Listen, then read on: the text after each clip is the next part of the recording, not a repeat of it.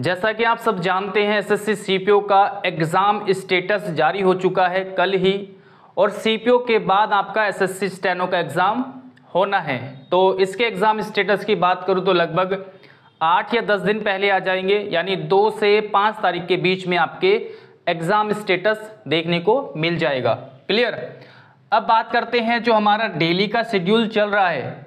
जो कि हमारा कल अट्ठारहवा दिन है, यानी 27 सितंबर को हमारा अट्ठारहवा दिन है, जो हमारा शेड्यूल चल रहा है, उसके बारे में बात करते हैं।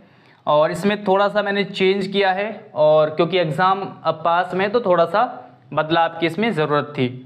दूसरी चीज़ ये है कि अगर ये सारी चीज़ें आप एक जगह चाहते हो, जैसे कि अभी अट्ठारह दिन होने वाले हैं तो अट्ठारह दिन का कंटेंट एक ही जगह आपको मिलेगा। अब हमारे एप्लीकेशन पर स्पार्कल एजुकेशन विद गौरव। वहाँ पर अभी तक हमने जितने भी ईडियम्स कराए हैं, जितने भी सिनोनिम्स कराए हैं, जितने एरर्स कराए हैं, वो सारा का सारा अलग अलग फोल्डर बना के मैं यहाँ पर एक जो फ्री पीडीएफ वाले सेक्शन में अपलोड कर दूँगा तो वहाँ पर आपको आसानी रहेगी रिवीजन करने में भी और उसको पढ़ने में भी। डेली कंटेंट आपको यहाँ पर मिलेगा, लेकिन वो एक जगह स्टोर होगा यहाँ पर, ताकि आपको ढूँढने में मतलब चीज़ों को ढूँढने में किसी भी दिन का आप आसानी से वहाँ पर देख सकते हो एक साथ ठीक है? आपको कहीं पर ढूँढने की आवश्यकता नहीं पड़ेगी। तो एक टॉपिक का एक फोल्डर बना देंगे वहाँ पर आपको सारी पीडीएफ उस आ, उस टॉपिक से रिलेटेड वहीं पर मिल जाएगी। तो sparkle education with Gaurav application को आपको डाउनलोड करना है और वहाँ पर आप चेक करना। अभी ये ऐड नहीं किया ये कल तक आपको ये सारा कंटेंट कल तक ऐड करने की कोशिश करेंगे ओके बाकी ये डेली जो चीज़ें हैं जो आपको प्रोवाइड कराई जा रही है, वो टेलीग्राम चैनल पर प्रोवाइड कराते हैं। स्पार्कल एजुकेशन टेलीग्राम का नाम है और ये जो लोगो लगा हुआ है, इस लोगों को देख लेना, वहाँ पर उसको ज्वाइन कर लेना। क्लियर बाकी आप मेरे नंबर पे कांटेक्ट भी कर सकते हो अगर कोई प्रॉब्लम है तो। चलिए, अब आते हैं, यहाँ पर हम क्या क्या करना है। देखिए ईडियम्स और सिनोनिम्स की क्लास आपकी सुबह सात से आठ बजे रहेगी रहेगी। क्योंकि हमें लगभग 1300 ईडियम्स 1300 सिनोनिम्स कवर करने हैं, जो कि आपके 2018 से 2023 तक के ही है। तो यही आपको बार बार पढ़ने इन्हीं को रिवीजन करना है। अब एंटोनिम्स की बात करें तो एंटोनिम्स देखिए, अगर आप सिनोनिम्स अच्छे से कर रहे हो वर्ड मीनिंग अच्छे से याद कर रहे हो तो आपको एंटोनिम्स अलग से पढ़ने की आवश्यकता नहीं पड़ेगी। वर्ड मीनिंग अच्छे से याद करो बस। और वैसे अभी हमारे पास ज़्यादा समय नहीं है तो इसलिए मैं अब उसको एंटोनिम्स की मतलब स्टार्टिंग से नहीं करा सकता, क्योंकि फिर उसमें बहुत ज़्यादा समय लगेगा। हाँ मैं कोशिश करूँगा कुछ ना कुछ चीज़ें आपको प्रोवाइड कराई जाए। क्लियर उसके बाद ग्रामर पर आते हैं। यहाँ पर आठ से दस बजे हमारे ग्रामर का सेक्शन होता है, जिसमें अब हम एरर्स को ही करेंगे।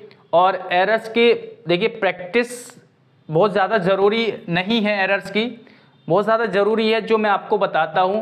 कि इसके सॉल्यूशन में से आपको लगभग 20 रूल्स नोट करने हैं? कितने? 20 रूल वो बहुत ज़रूरी है। एरर की प्रैक्टिस से ज़्यादा ज़रूरी क्या है? तो प्रैक्टिस यानी पढ़ना है उनको प्रैक्टिस करनी है। एक घंटा प्रैक्टिस में देना है, लेकिन उससे भी ज़्यादा इम्पोर्टेंट क्या है कि आपको उसमें से 20 रूल्स नोट करने ही करने हैं।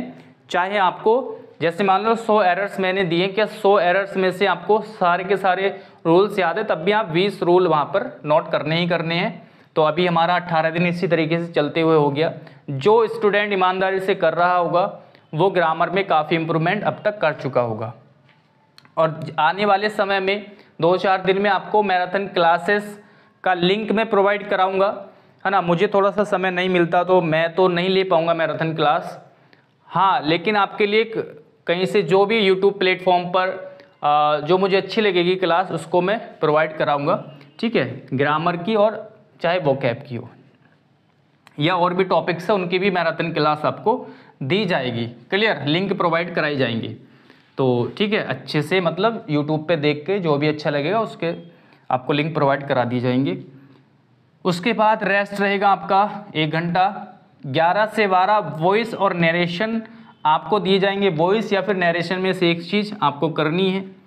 प्रपोजिशन फ्रेजल वर्ब और होमोनिम्स प्रपोजिशन फ्रेजल वर्ब्स आपको पता है। होमोनिम्स भी आपके आ सकते हैं एग्ज़ाम में। आ, कुछ वर्ड्स आपको दिखने में सेम होते हैं लेकिन थोड़ा बहुत अंतर होता है और उसी अंतर से उनका मीनिंग भी बदल जाता है। क्लियर तो होमोनिम्स कहलाते हैं वो जो कि आपको प्रोवाइड करा दिए जाएँगे। फिर एक से दो करंट अफेयर की क्लास आपको दी जाएगी, या मैराथन क्लास है, जो भी है, ठीक है, मैं आपको प्रोवाइड कराऊँगा। उसके बाद आपको स्टैटिक जीके में इंपॉर्टेंट टॉपिक्स मतलब स्टैटिक जीके पढ़ना है, साथ में इंपॉर्टेंट टॉपिक्स कौन से टॉपिक्स आपके हिस्ट्री के ज्योग्राफी के पॉलिटी के इकोनॉमिक्स के, ये इंपॉर्टेंट टॉपिक्स आपको पढ़ने हैं साइंस के। उसके बाद रीजनिंग पे आते हैं। रीजनिंग में आपको क्या करना है? ये सारे टॉपिक्स दोबारा से रिवाइज करने हैं। सिलोगिज्म ब्लड रिलेशन हुआ सिलोगिज्म हुआ direction dice calendar mathematical equation coding decoding inequality Chinese coding seating arrangement ये सारे टॉपिक्स आपको एक बार फिर से रिवाइज करने हैं। है ना? अगर आप चाहते हो कि मेरे मार्क्स अच्छे आए, है ना? फोर्टी फाइव प्लस आए तो भैया एक बार इनको रिवाइज कर लेना आराम से। दोबारा से, और इन ये क्लास जैसे आपके ब्लड रिलेशन हो गया, syllogism direction, dice calendar coding, decoding, या फिर एक दो टॉपिक्स मैंने आपको बहुत अच्छे से समझा रखे हैं, और मैं या तो उनकी क्लास को एक जगह ज्वाइन करके अपलोड कर दूँगा, या फिर आपको यहीं पे टेलीग्राम पर ही उनका लिंक प्रोवाइड करा दूँगा। क्लियर? तो आप टेलीग्राम चैनल को ज़रूर ज्वाइन कर ले। इस तरीके से आपको रीजनिंग में यहाँ पर पढ़ना है, पाँच से छः बजे। समय आप देख लेना, ये टाइम लिखा हुआ है क्लियर तीन से पाँच आपको ये पढ़ना है, पाँच से छः यहाँ पे पढ़ना है। अब क्या करना है आपको? देखिए यहाँ पर हमारी तीन और एक चार, एक पाँच घंटे इंग्लिश हो चुकी है और यहाँ पर आपके तीन घंटे जीएस हो चुकी है और एक घंटा आपकी रीजनिंग यहाँ पर हो चुकी है। तो अभी सिस्टम बढ़िया है, ऐसे करना है। अब यहाँ पर एक घंटा फिर से रेस्ट करेंगे। उसके बाद आपको सात से नौ बजे तक दो घंटे आपको मॉक टेस्ट लगाना है। दो घंटे का मॉक होता है। और देखिए कोशिश करनी है कि आपको ये जो प्रीवियस ईयर के मॉक है ये लगाने हैं। अगर किसी ने लगा रखे हैं भाई कितने हैं? लगभग 19 से अगर मैं बात करूँ 19 वाला हो गया फिर 20, 21, 22 यानी छः चौबीस मॉक टेस्ट है। अगर किसी ने बहुत अच्छे से लगा रखे हैं सारे मॉक टेस्ट तो आप मतलब प्रीवियस ईयर पेपर अच्छे से लगा रखे तो आप जो मॉक टेस्ट होते हैं, किसी भी प्लेटफॉर्म पे जहाँ भी जहाँ भी आपने सब्सक्रिप्शन ले रखा है तो वहाँ से आप उनके मॉक टेस्ट लगा सकते हो। और जिसने अभी तक ये मॉक टेस्ट नहीं लगाई तो कोशिश करो, बाईस वाले और इक्कीस वाले आप एग्ज़ाम से पहले पहले ज़रूर हंड्रेड एंड वन परसेंट लगा ले। क्लियर? तो ये तो आपको करना ही करना है। साथ में क्या करना है? और ये आपको डेली अब एक मॉक टेस्ट लगाना है। इससे क्या होगा? आपकी स्पीड बढ़ेगी। दूसरी चीज़ थोड़ी बहुत जो एक्यूरेसी आपकी आ, मतलब कम हो रही है वो अच्छे से इम्प्रूव होगी। है ना? छोटी छोटी मिस्टेक्स आप बचोगे।